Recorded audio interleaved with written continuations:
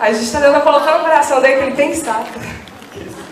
Galera, é, tem muitos outros convidados, já tem gente confirmada, mas nós não vamos divulgar aqui agora, nós vamos divulgar pelas nossas redes sociais. Ao longo dessa última semana a gente já divulgou e aí a gente vai continuar, então siga lá, arroba Club e arroba Lagoinha Savassi, por gentileza. Faça esse favor para nós. Vamos ter o nosso Odd Day. Alinhamento de visão é o nosso pastor mesmo, nosso time de pastores chegando aqui. É comentarista ao vivo. É, nosso time de pastores vão estar aqui passando realmente a visão da igreja. É um momento muito importante para nós enquanto Lagoinha Savassi, então você não pode perder. Vai acontecer no dia 18 de fevereiro. Ou seja, já está chegando, mas você está sendo avisado com antecedência. Então, assim, por gentileza, esteja aqui. E mais um aviso que é CD do Lucas Kim. Uhul!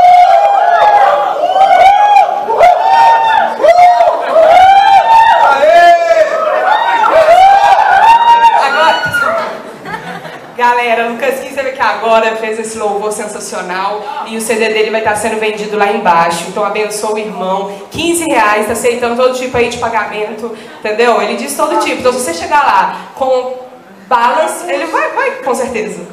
Balas, é ótimo, balas todo mundo quer. E enfim, comprem, tá muito top. A nossa SVS Store também está rolando, vai estar rolando lá embaixo no final. E é isso aí que eu vou chamar ele. Não é lógico, o menino das ofertas. Ele talvez não vá para a conferência do clube, mas que ele vai estar aqui agora dando oferta e vai. Então, assim, que momento. Que momento único.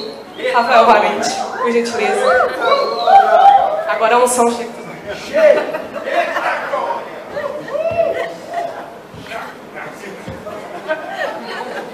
Pessoal brinca muito. Gente, boa noite. Quantos de vocês estão aqui pela primeira vez? Façam assim para que eu possa ver. Temos aqui no canto, pessoal aqui, primeira vez. Pessoal, sejam todos bem-vindos em nome de Jesus. É... Essa é uma parte muito importante do culto ao Senhor. É a parte que nós falamos sobre dízimos e ofertas. Muito importante que você e eu, enquanto cristãos, saibamos que esse momento não se fala sobre dinheiro, se fala sobre conversão, sobre transformação. E toda vez que nesse momento você pensar assim, já vai o pastor, o ministro, sabe lá o irmãozinho que for, falar sobre dinheiro, é sinal de que existe um problema na sua mente ainda. Porque não se fala sobre isso, sim sobre salvação. Não que o dinheiro pudesse nos salvar, misericórdia, né? possa nos salvá-lo. O Quero morreu por isso, para dizer o contrário disso. Mas é porque tudo que nós fazemos aqui, nós fazemos por pessoas e carece também de contribuição. E escandalize se você quiser, mas desde a formação do povo de Israel, Deus está lidando com o povo e atribuindo a esse povo a responsabilidade de investir seu, na sua missão a sua, a sua vida ou a sua área financeira. Tudo que nós temos pertence a Deus. Tudo.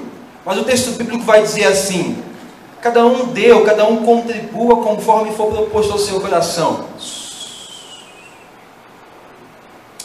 Isso quer dizer que tem pessoas que vêm aqui à frente e fazem de repente um cheque de, vamos, um exemplo tosco, de 5 mil reais e colocam aqui.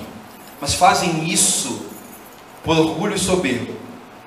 Deus não recebe. A igreja sim.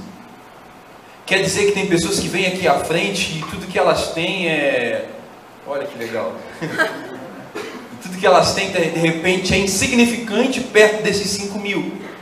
E Deus recebe. Deus não trabalha como nós trabalhamos. A visão de Deus é diferenciada.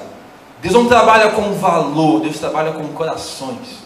É por isso que ele fala assim: antes de você vir me ofertar ou entregar o seu dízimo, vá e viva em paz com seu irmão, vá até ele, e se ele tem algo contra você, conserte.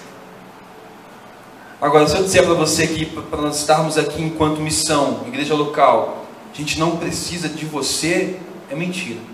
Nós precisamos de você. Nós precisamos da sua fidelidade ao Senhor. Na Lagoinha Savassi, para quem já é daqui, vive esse momento de três formas.